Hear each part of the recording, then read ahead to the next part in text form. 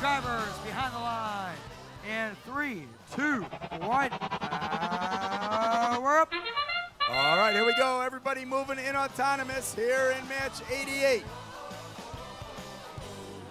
The TerrorBytes trying to score over on the scale, drop it to the floor for red, but their partner puts one in the scale. We've got one in the scale over on the blue side as well.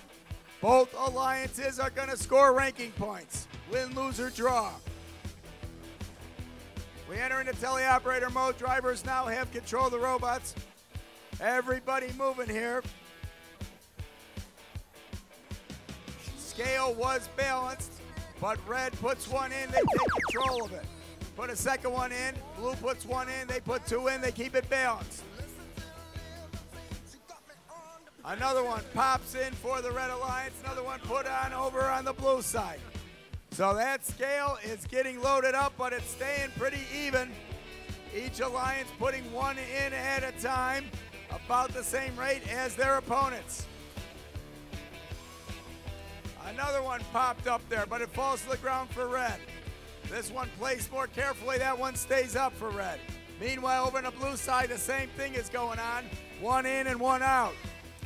So that scale is continuing to stay balanced. Nobody in control of it in the middle of the field. Little under 70 seconds remaining.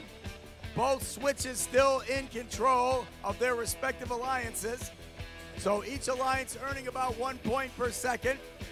Blue, by virtue of the fact that they have also executed a levitation, a levitate, had about a 30 40 point advantage. But now a boost in effect for red, so they're catching up. They they break the they bring the gap down a little bit, but it's still advantage blue here. 35 seconds to go.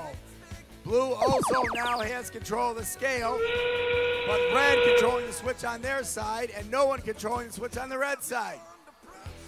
So the control of the switches is all messed up for both alliances, so that kind of evens them out. 15 seconds now remaining. Advantage blue though by almost 16 points, 55 or so.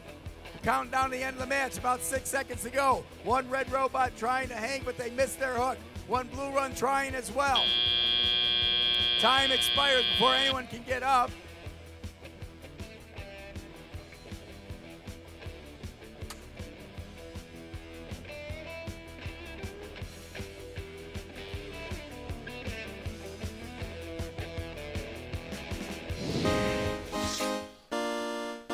Right, we got a score coming up. It is the Blue Alliance.